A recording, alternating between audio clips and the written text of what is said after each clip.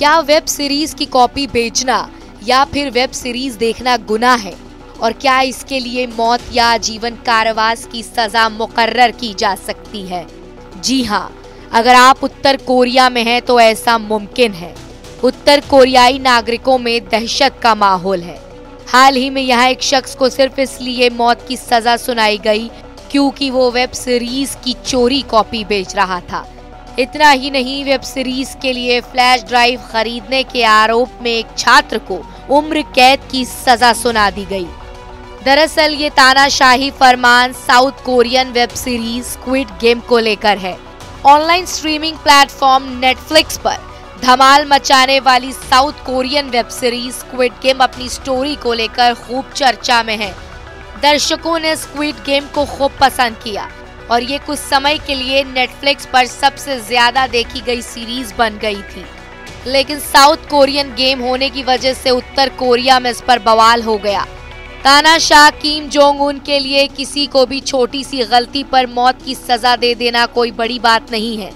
लेकिन जब बात सन की तानाशाह के कट्टर दुश्मन और पड़ोसी देश साउथ कोरिया की आती है तो मामला और ज़्यादा बिगड़ जाता है। आपको बता दें कि साउथ कोरिया में बनी फ़िल्में और वेब सीरीज़ नॉर्थ कोरिया में बैन है। इससे जुड़ी सामग्री भी बेचना अपराध माना जाता है। तानाशाह सरकार ने वेब सीरीज़ की कॉपी बेचने वाले शख्स को मौत की सजा सुनाई है। उसे कथित तौर पर गोलियों से भून दिया जाएगा। इसके अलावा जिन्होंने स्क्विड गेम को चोरी छिपे देखा है, उन्हें भी उम्र कैद की सजा और कड़ी मेहनत की सजा सुनाई गई है। स्क्विड गेम ने अपनी बेहतरीन कहानी से पूरी दुनिया में लोकप्रियता हासिल की। वहीं नॉर्थ कोरिया के लोग भी इसे देखने के लिए अपनी जान जोखिम में डालने लगे।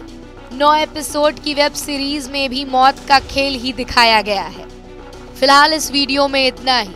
इस वीडियो को आखिर तक देखने के लिए आपका दिल से शुक्रिया। ऐसी ही तमाम जानकारियों के लिए फॉलो करते रहें टीवी नाइन डिजिटल भारतवर्ष।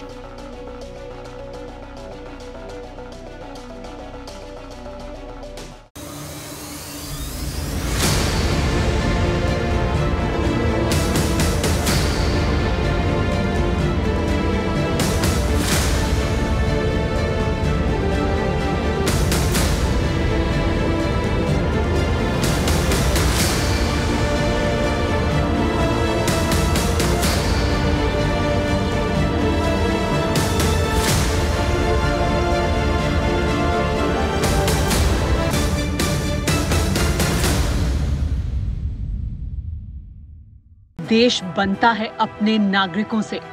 ऐसे नागरिक जो अधिकार के साथ कर्तव्य पर भी ध्यान दें, जो सच्चाई का आदर करें, लेकिन असत्य से लड़ना भी सीखें, जो सिर्फ़ जानकार न बने, बल्कि जागरूक भी रहें। इस काम में टीवी नाइन डिजिटल है आपका मददगार, लगातार, ताकि आप भीड़ का हिस्सा न बने, बल्कि राह दिखाएँ भीड़ को। देखते रहिए टीवी नाइन डिजिटल।